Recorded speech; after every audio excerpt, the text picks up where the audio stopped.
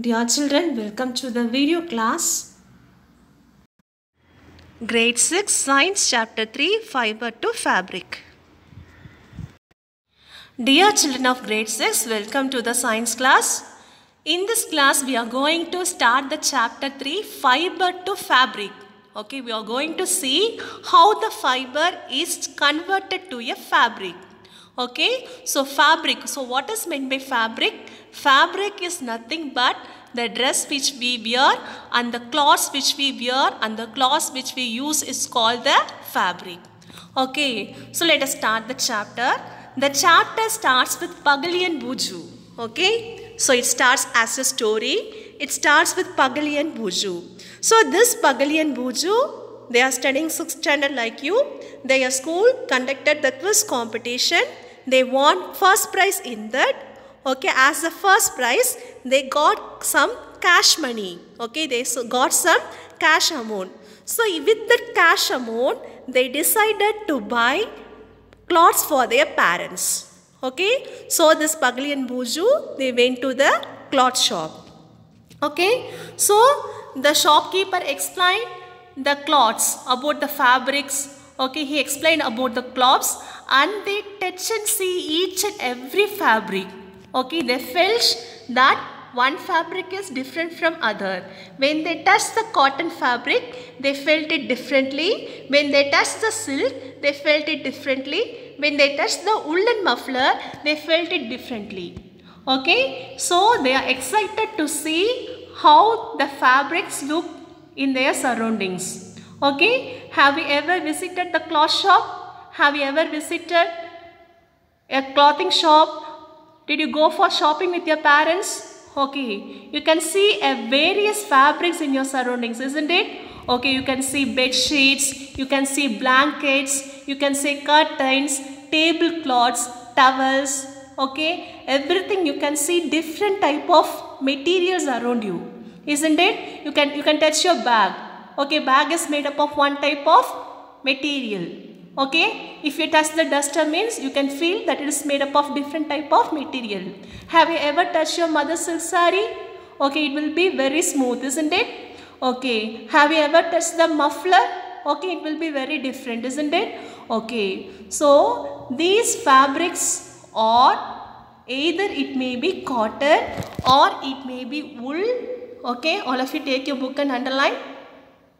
Okay, so the fabrics it may be cotton or it may be wool or it may be silk or it may be synthetic.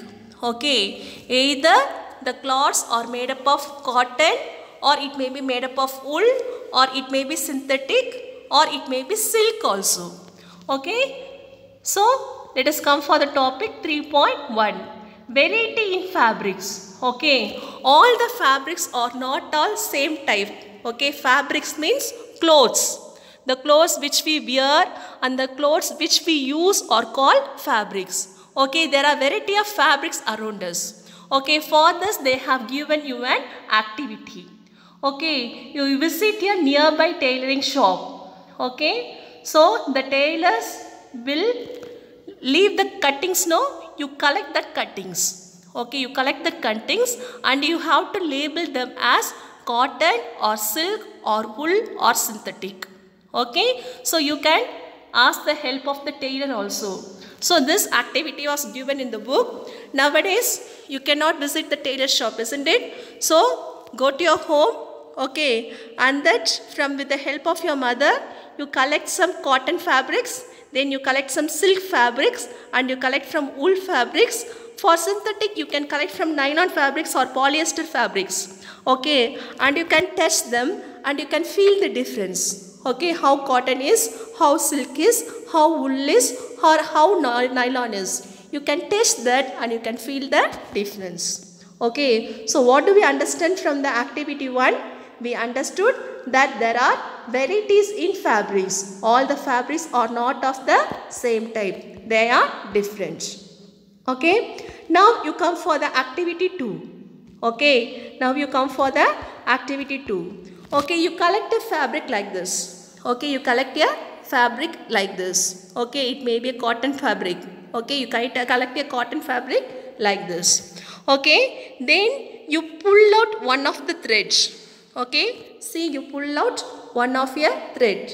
Okay, so like given in the book, you can pull out one of the thread. Okay, you can use a pin or a needle for that. Okay, you can use a pin or needle for that. Okay, so this is called a yarn. Okay, this is called a yarn. So, what is the conclusion?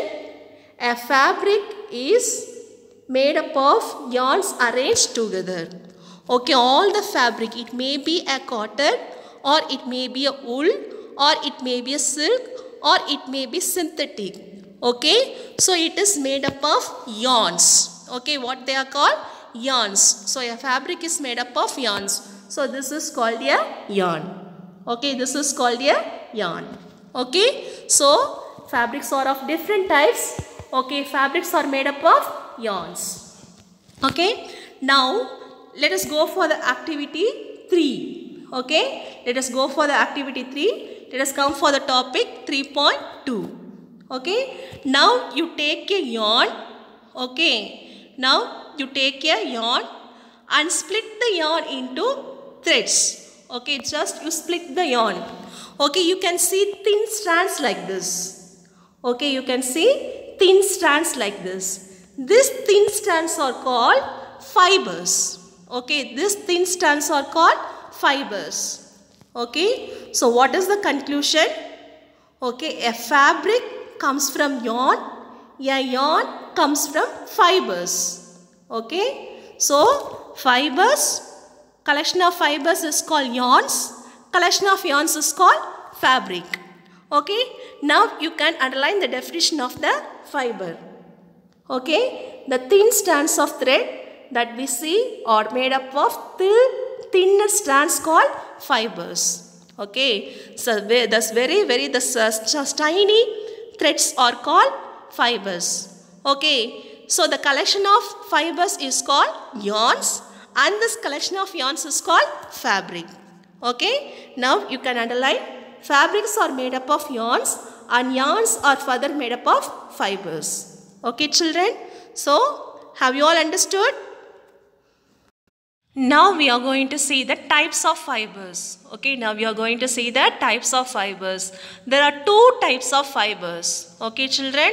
The first one is natural fibers. Okay, what is the first one? The first one is natural fibers. The second one is synthetic fibers. Okay, the second one is synthetic fibers. Okay, you can underline what is synthetic fiber. The next second one is synthetic fiber. Okay, so how many types of fibers are there? Two type of fibers. The first one is natural fiber. The second one is synthetic fibers. Okay. Okay. I told you these fibers are converted into yarns and from the yarns only we are getting a fabric. Okay. Now let us see what are synthetic fibers. Okay. Underline the word. The fibers of some fabrics such as cotton, jute, silk and wool are obtained from plants and animals. Okay. So some fibers they are obtained from plants and animals. That is they are obtained from natural things. So that's why they are called natural fibers. Okay. So the examples are cotton, jute, silk and wool. Okay. So cotton and jute we are getting from plants. Okay. Wool and silk we get from animals. So wool is obtained from the fleece of sheep or goat. Fleece means the hairy skin is called the fleece. Okay. So it is also obtained from rabbit, yak, etc. Okay. So silk fiber is obtained from the cocoon of silkworm. Okay. Yes. So they are synthetic fibers. The second one is so they are natural fibers. Okay. So they are natural fibers. They are obtained from plants and animals. So they are called natural fibers. Okay, the second one is synthetic fibers. So synthetic fibers means these fibers are obtained from chemical substances and they are not obtained from plants and animals. Okay, so such fibers are called synthetic fibers. The examples are polyester, nylon and acrylic. Okay, polyester is obtained from chemical substances. Nylon is obtained from chemical substances. Acrylic is obtained from chemical substances. So that's why they are called as synthetic fibers. Have you all understood children? Dear children, your activity for this class is you frame 20 fill in the blanks in topic 3.1 and 3.2. You refer the page number 18, 19, 20 in the textbook. Okay children, do the activity and submit. Okay, thank you. Have a nice day. See you again in the next class.